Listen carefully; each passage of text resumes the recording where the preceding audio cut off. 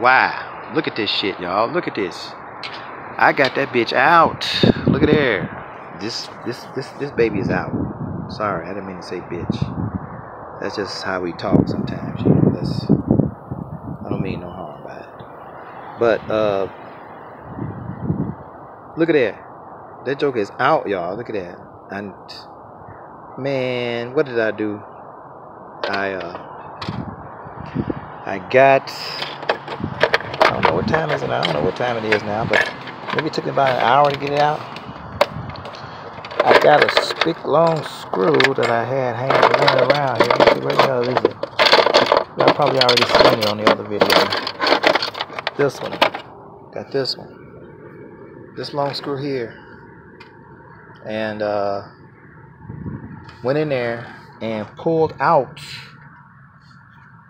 what did I pull out? Uh, pulled out something. Can find it.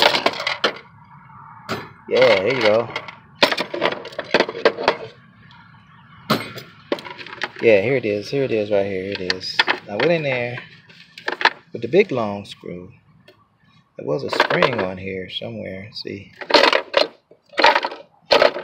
Don't know where the spring is, but look at that. It's just falling apart.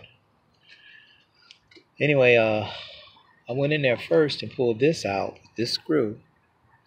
With this I pulled this thing out with this screw. And uh, after I pulled that out, I don't want you no more. I, uh, the spring? The spring is in here somewhere.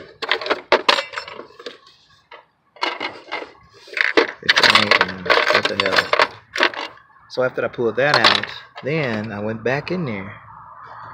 Was hell fabricating a tool to get it out. But I fabricated a tool and went back up in there and got that plastic one out as well. With just a little of uh, now I got to go find the orifice tube. So anyway, uh, I think that's what I'm going to do. Um, I got a little bit of daylight left. I'm just going to go on and put the orifice tube in there, plug that back up, charge it up again, and then just wait again for another nice day because today is shot. There's no way in the world I'm going to be able to put those uh, hoses on today. So, all right, guys, y'all take it easy, and I'll talk to you later. Thanks for coming by. I appreciate that. Yeah, that's really cool that y'all did that. Now I gotta go see.